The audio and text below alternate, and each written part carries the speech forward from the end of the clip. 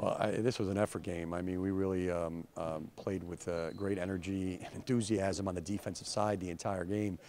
And when we do that, usually our offense is clicking. And, uh, you know, we challenged the team all week that this team was going to um, be able, you know, they're a good offensive rebounding team, and they averaged 18.5 offensive rebounds through the first two games. Um, so we were this a, we were able to out rebound them 35, 34. So really executed. We forced them to tough shots, and uh, um, we got the, you know we got the, the, initial shot for the most part off off the glass, and then our, our offense flowed from there. If we're able to move up the floor and run and, and, get points off our defense and the defensive glass, and then we're pretty good. And uh, you know, 41 points at halftime. Uh, I was really excited I thought our, our team was able to come out of the locker room.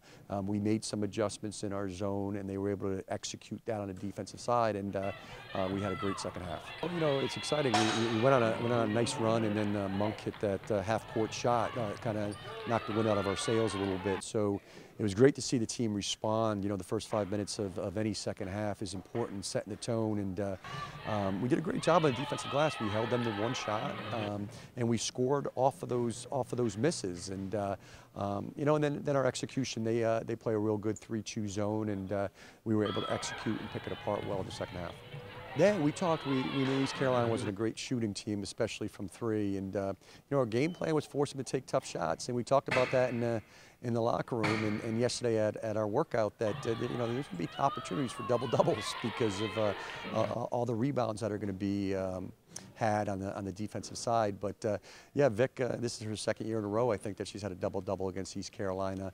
Um, you know, Eva and Sid had a, a great overall guard game, and uh, yeah, it was great. Bailey has uh, you know uh, uh, obviously like I said this about Eva the last game. Hard work pays off, and she's she's worked extremely hard, worked herself into a role, and um, I'm glad she's you know, bearing the fruits of her, uh, of her hard work. Yeah, I mean, this was a great just first test for us. We talked about that prior to the game, that we are going to find out a lot about ourselves. A good uh, um, East Carolina team, super athletic, uh, tough place to play, on the road, and, uh, you know, we passed that test, and, uh, and that's not the only test we're going to have this year. So um, we got to move forward. We got a good Richmond team on, uh, um, on Wednesday, Wednesday night next week, and, you know, three of our first four games are on the road, so um, you know, kind of road warriors a little bit. You know, we've got to find some toughness, and uh, uh, I'm happy with our, our progress so far.